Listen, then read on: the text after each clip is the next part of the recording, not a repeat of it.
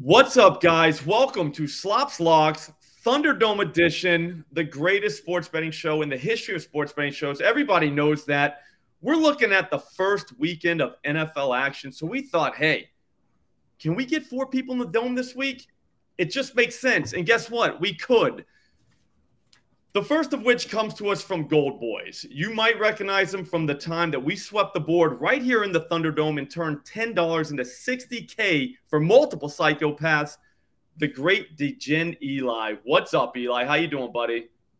Doing awesome. Appreciate you finally inviting me back to the show. I know it's because you were scared. Uh, a lot of people said it was like a charity uh, uh act by you or a, a pity act by you having me on this show. You know, with my measly sixty thousand followers compared to all of your you know, triple digits. I don't stuff. think you have sixty, but my my response to that is, you, you know, I everybody knows you want the show to be profitable. There's no way you you three are doing that without me. So uh, you're welcome, and also thank you. Oh, awesome, awesome. Thank you, Eli. It's the first time I've introduced you nicely, and that's I immediately regret Yeah. that. Yeah, probably. The next fighter we've got is from the Action Network. On top of being extremely good looking, he's also a Twitter legend. I'm talking about Vegas Refund. What's up, VR? Thanks for having me back. It's been a while. It has been. It has been. What do you do all summer, bro? Besides maul the drafts, like like your account just starts popping up during football season. I get happy again. I'm, and I wonder where where does he go? What do you do? I mean, draft season is a whole nother beast. So it's Mhm. like the month after the MLB, it's kind of just disconnect and just recoup until August or I guess September. Like and then not- and then you're back just nonstop because now you're tweeting all the time again. pretty much. All right. That's how I know it's football season, so I'm happy to see it. And finally, we've got another guy who needs absolutely zero introduction. He's probably the hardest working man in this space. He's all over TikTok, YouTube, as well as Twitter. He's a guy that I've got to beat by at least two units today, or I have to pay one of his subscribers a hundred bucks. Calling our shot. What's up, Austin? I appreciate you for finally not dodging me and getting me in the Thunderdome. I know you're going to be giving away a $100 to someone of my subscribers, but I appreciate you for letting me in here. And I got all plus money bangers, so this is going to be an electric episode. People should uh, stick, stay tuned. I got some good ones cooked up. I was definitely going to tell you, you can't walk in here with this minus 120 this, minus 110 that, but apparently you have seen the show and you know. Big fan. And I'm, I'm glad I'm glad you're not ducking me anymore too. All right, so here's what we're going to do. All right. There really are no rules here. All right. The only rules is there are no rules. Shut up, Eli. We're going to go Vegas refund first, then Eli, then calling our shot, then me. Okay. Basically, we're all going to give three picks. That's it. Three picks. Whoever has the most units at the end wins, just like I did in yesterday's surprise Thunderdome. But before we do all that, Nigel's making us give away a thousand dollars. That's right. Somebody watching right now is going to win a grand. All you have to do to be eligible is to be on an Odds Jam free trial. I would also subscribe to this channel too. So just go to oddsjam.com, pick a plan, use promo code SLOP, and you'll be given access to the greatest sports betting tools in the history of sports betting tools, absolutely free for two weeks. On top of that, you'll be entered to win a thousand dollars, which will be which will be announced Monday. I know what you're thinking. It's too good to be true, but it is true. It's 100% real. So do that right now. We'll wait for you. I'm just kidding. Pause the video. We're not going to wait for you. VR, you're up. Go ahead, man. Okay, so the first one I'm going to give out is going to be Tyler Lockett, anytime TD, which right now sits about, about like plus 200, which if you use any of the million boosts that are available out there, you can get probably up to plus 300. But right now, the Rams are just not a lot to like in the secondary. When they're playing too high, they could have seven rookies on the field. Uh, and then when you factor in the returning secondary players between Witherspoon and Kendrick, both of them ranked 133 and 132 out of 135 cornerbacks ranked on PFF last year. You don't have Jalen Ramsey. And then you have Tyler Lockett, who put up four four catches, 54 yards and a touchdown last year, the nine catches for buck 28 and a touchdown last year. He's just the model of consistency, four plus seasons in a row with at least eight touchdowns or more. Um, and if I just don't know how anyone in this Ram secondary is going to stop him or Metcalf. If Metcalf had higher odds than Lockett, I would have taken him. But Lockett at plus 200, um, it's a good one. I was just going to ask you, what do you say to the haters that say it's going to be all Metcalf all day? But you addressed that. All right, Eli, you heard the man. That means you're up. Stop stalling. So you see my hat says run the damn ball. You can't see the jersey. It is an Anthony Richardson Colts jersey, obviously. Um, listen, the Colts are going to be really bad. They're going to be pretty much playing for fun this season um, and the development of Anthony Richardson. Anthony Richardson also the only fun player on the roster potentially. He's also the only guy that's a talented rusher on the roster. So what I'm going to do here is I'm going to take Anthony Richardson anytime touchdown, same game parlayed with his over 45 and a half rushing yards. That is plus 300 on Hard Rock.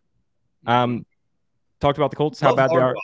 Yeah, yeah. You know, best odds. You got to take got to take the best lines. Um, Colts also ha- really have no red zone threat other than Anthony Richardson. So, no. um, you know, if they want to do anything, ball's going to be in his hands. Uh, Philadelphia Eagles last year with uh, Shane Steichen calling the plays led the NFL and designed run plays. Um, and obviously, Shane Steichen, head, head coach of the Colts this season. I think we're going to be seeing a lot of Anthony Richardson running the ball, whether it's in a, in a scramble because the offensive line sucks or a design run uh, play call. Um, and I think they call his number in the red zone as well, plus 300.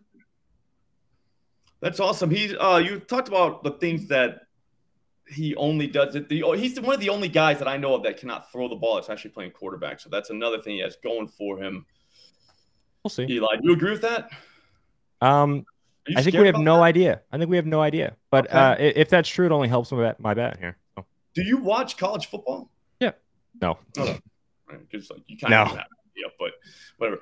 Anyways, I like that pick. Actually, I'm kind of mad that I did not take something similar to that because I'm going to need more than what I have. But anyways, I'll figure it out. While I'm doing that, go ahead, Austin. You're up.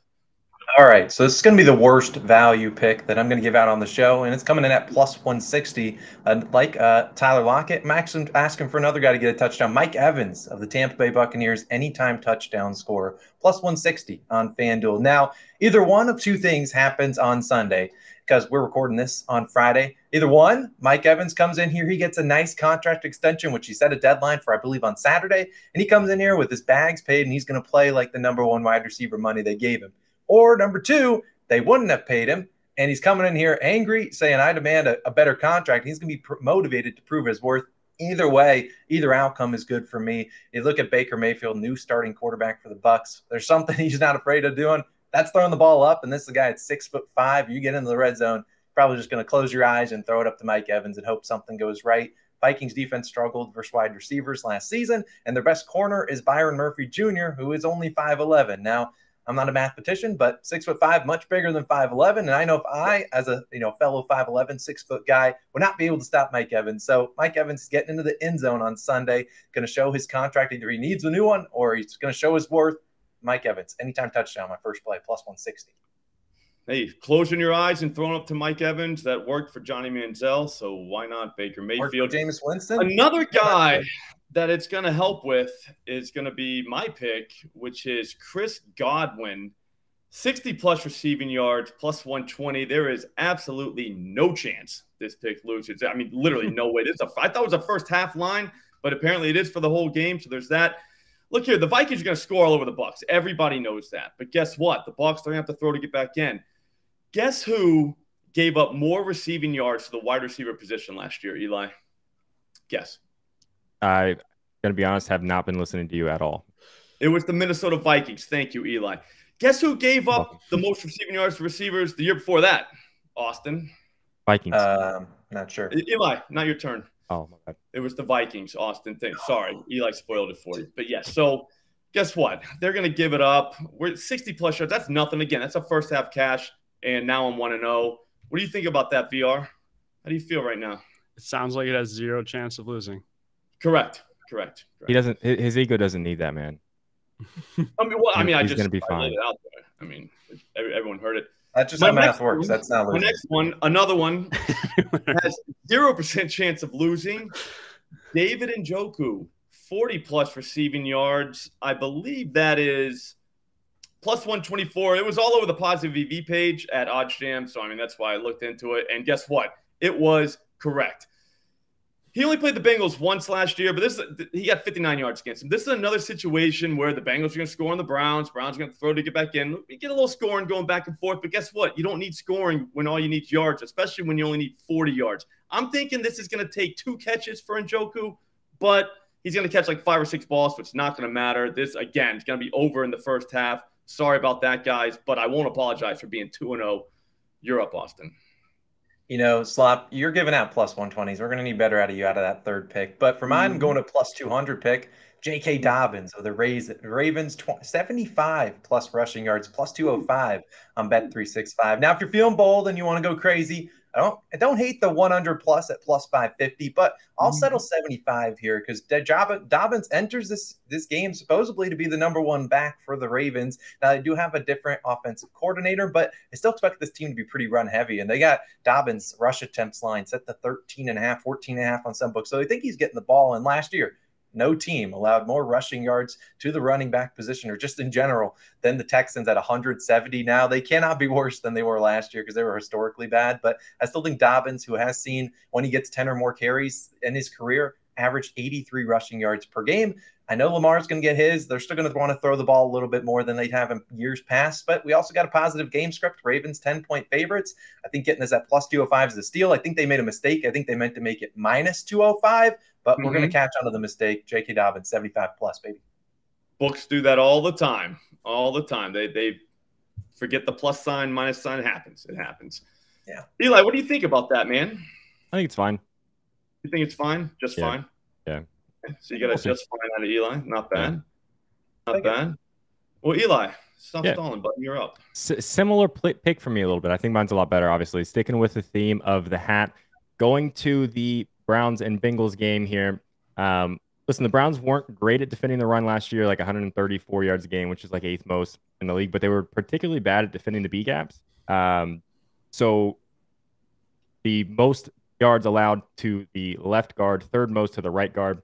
That's where Joe Mixon gets uh, like a lot of his yards. Um, so I'm going with Joe Mixon, 70 plus. Um, and in one of the two games last season against the Browns, he dropped like 80 something. Um, that is plus 172 on FanDuel. Joe Mixon, 70 plus rushing. Not bad. Not bad at all. VR, do you like that at all? You didn't seem like you were very interested in that. I mean, I, I I'm just trying to win. I'm not really having an opinion on others, right? It sounds like it has zero percent chance of winning. Uh, Eli was. It was it was a yeah, good. He was bringing up gaps and stuff. What the hell's that? I don't know. Yeah, but that's just not I it. that. I heard a lot of stats. I don't know. It's, yeah, no, that that's zero percent chance of it. The tune we'll out. Yeah, it gets rough. All right, well, VR, VR, show them how it's done. You're up. I'm gonna go with twice, by the way. I'm gonna go with Josh Allen anytime touchdown at plus two ten uh, who they are playing the Jets on Monday. Last year, Allen really struggled passing against both games against the Jets. He was under 56% uh, completion rate between the two games. And in both games against the Jets last year, rushing, he went nine for 86 in a touchdown. And he went 10 for 47 and two touchdowns in both games. So uh, in the two games that he struggled, he defaulted to rushing the ball. And at plus 210, like when you think about them in the red zone and on the goal line, like Josh Allen is their goal line back, at least to me, um, which a plus 210, use all the boosts. I came in here with two safer picks, and then I saw these odds, not realizing everyone's going plus 200. So I kind of just whipped that one up off the fly. Oh, right at the top of your head, I like that. It's smart. I just I just made something that has no chance of losing, and it was your strategy right there. And I mean, QB first TD are autos, which I don't even know what his first TD odds are, but uh, bonus pick first TD Josh Allen as well. Ooh, bonuses, I like it. I like it. Well, since snake drafts work the way they work, you're gonna go again. I'm gonna go again. So this is gonna be my safe pick. I'm gonna go with the Packers money line plus 100 or even odds, Ooh. which this is one when you look at it's kind of it doesn't make sense about how they're like plus one and a half, which plus one and a half is basically a money line bet. But you would think like I have this at like Packers least like minus one and a half. And we have a flashy quarterback and Justin Fields, who's on everyone's fantasy team with the Bears. And then you have Jordan Love, who is not on anyone's fantasy team. And Aaron Rodgers has left the building. And I don't think anyone's giving the Packers any credit. I do think they're a great bet to win their division. They still have weapons at wide receiver, tight end. They have a great offensive line. Uh, Teven Jenkins, the Bears' best offensive lineman, was just placed on IR, which is a big deal uh, because Pat Thorman, who is with ETR, he does like an offensive line, defensive line advantage or mismatches every week. And rarely do you see a team pop up on the offensive line mismatch and defensive line mismatch. And it kind of just means auto bet if it, it's on both. And the Packers are the only team right this this week that have an edge on O line and D line, which is big for me. And at even odds for money line, and I need a safe one just to make sure I don't go 0 and 3. Um, Packers money line it is. I love it. I love it. So not buying the Bears hype, huh? I'm not. I'm not either. So I'm on record saying that. Eli. Hi. You heard the man. My turn? Oh, wait, my bad. You already gave yours. No.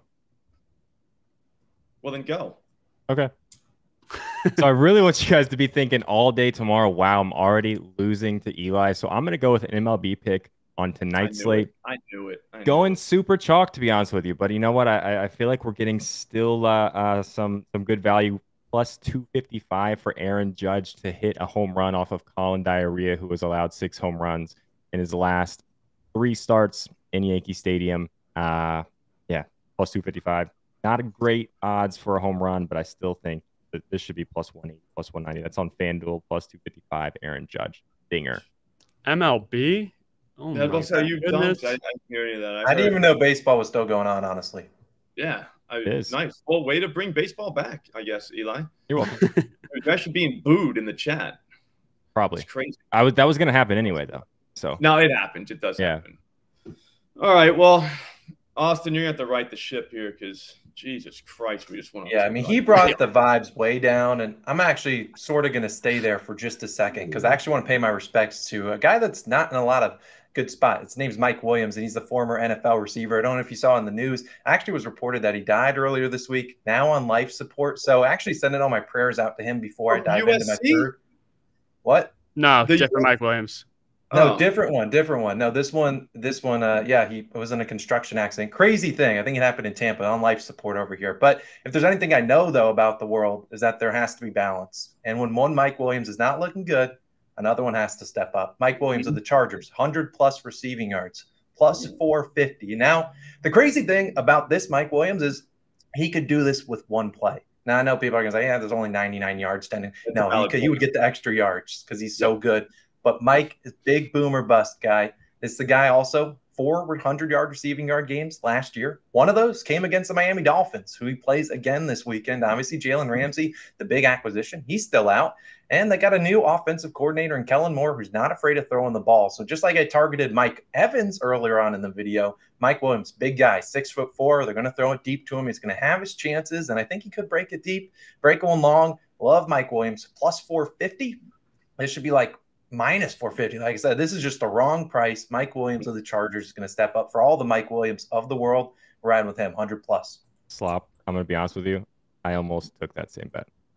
Wow. So Austin and Eli are Yeah, lovers. I, I like I like that one. I like it. It's a winner. I like it. Good, good, good. All right, so I'm gonna have to pivot a little bit. Not not that much though. Oh shit, the odds change. I can't see. It.